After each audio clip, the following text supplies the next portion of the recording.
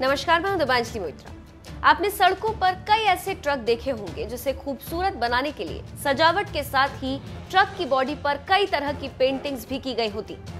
फिर भी परिवहन विभाग इन ट्रकों का रजिस्ट्रेशन करता है। लेकिन एक कार पर जब खूबसूरत बनाने के लिए पेंटिंग की गई तो उसका रजिस्ट्रेशन करने से ही चंडीगढ़ प्रशासन ने इनकार कर दिया। जिसके बाद मामला हाईकोर्ट तक पहुँच गया।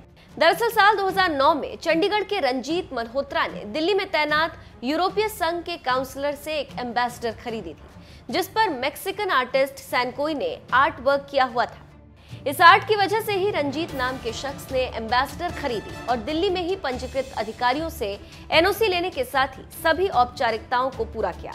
और जब कार लेकर चंडीगढ़ पहुँचे तो यहाँ परिवहन विभाग ने रजिस्ट्रेशन करने से ही इनकार कर दिया। उन्होंने कहा कि कार का असली रंग सफ़ेद था, जिस पर अब पेंट कर दिया गया।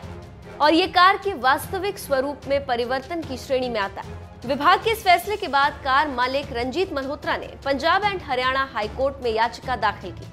मामला हाईकोर्ट पहुँचा तो चंडीगढ़ यूटी प्रशासन के senior standing counsel Pankaj Jain ने कहा कि अभी तक रजिस्ट्रेशन के आवेदन पर अंतिम फैसला नहीं लिया गया।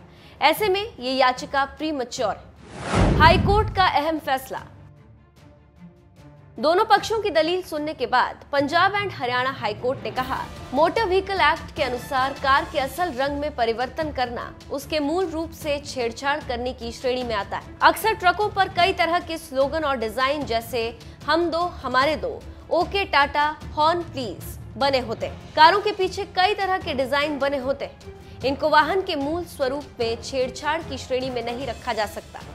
हाईकोर्ट ने कहा कि जैसे कैनवस पर रंगों के ज़रिए कई तरह की पेंटिंग बनाई जाती, जिससे कैनवस का मूल स्वरूप प्रभावित नहीं होता है। वैसे ही इस समय कार का मूल रंग सफ़ेद है, जिस पर पेंट किया गया। ऐसे में इसे वाहन के मूल स्वरूप से छेड़छाड़ की श्रेणी में नहीं रखा जा सकता। इतना कहने के बाद हाईकोर्ट ने कार मालिक की याचिका स्वीकार की और चंडीगढ़ प्रशासन को आदेश दिया कि वो दो हफ़्ते के अंदर वाहन का रजिस्ट्रेशन करे।